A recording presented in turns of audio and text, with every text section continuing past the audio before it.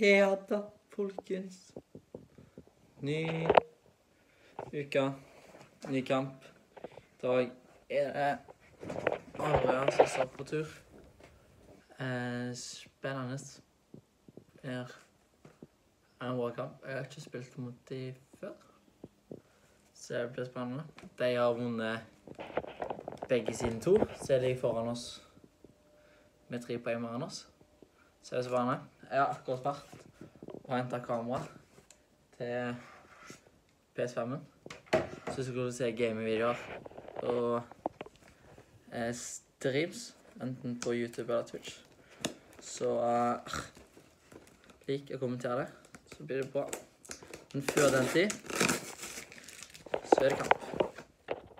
Da er kampen i gang på Overlia. Vi har hjemmekamp, men spiller ikke kampen på vår hjemmebane.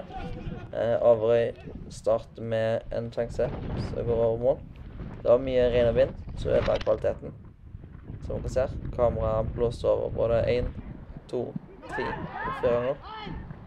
Her var det offside, men ballen trillet inn til meg, så vi får spilt videre. Her får jeg gjøre den over på venstrefoten. Slår en dårlig pasning. Og det ender med frispark til AK utenfor 16. Det blir slått inn. Han er tilbake. Og der eh, lå vi. Vi har Logona 1-0 i alle tre kampene vi har spilt. Så det er en trend å snu. Så som dere ser, så er kvaliteten ganske vanskelig, så du ser ikke så mye. Men vi skårer 1-1. Der har kameraet gått i bakken igjen. Vi skårer 1-1, og det er resultatet til pause. Så er andre omgang i gang, og Averøy har medvind. Så når de slår et innlegg, så blåses det ganske kraftig mot mål. Men jeg får uh, dytta det ut. Og så prøver de seg på et langskudd pga. medvinden. Jeg ser ikke om den går ut eller går inn, men jeg tipper den hadde gått inn. Så det er bra keeperspill å slå den ut. Så er det hjørnespark som blir slått på første. Fint heller ut. Slutt hjørnespark fra andre sida blir slått på første opp. Jeg roper keep, men stopperen stoler ikke på meg pga. regnet, og det er fullt forståelig. Så må du spørre dommeren om han kan ta skoen, for de har gått opp flaut. Så er det nye hjørner, og ser hvor kraftig vind det er. Så må ut og bokse. Det går ikke an å holde noe her. Nytt innlegg. Første Plukkes greit. Avia har ganske mye press i andre gang pga. medvinden. Og får som sagt 28 kameraer.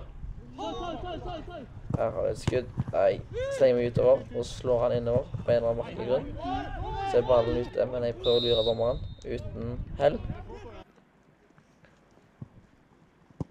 Nytt skudd, ganske enkelt midt på. Safe med å slå bakken.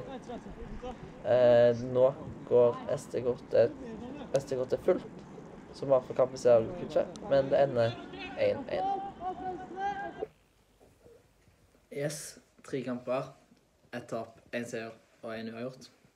Det er egentlig helt OK med uavgjort, selv om vi skulle ønske at vi vant.